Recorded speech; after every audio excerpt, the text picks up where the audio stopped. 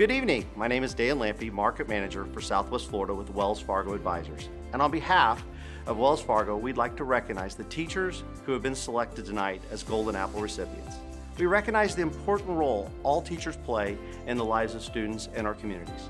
In 2019, Wells Fargo invested 455 million in national organizations as we embarked on a journey to create greater community impacts.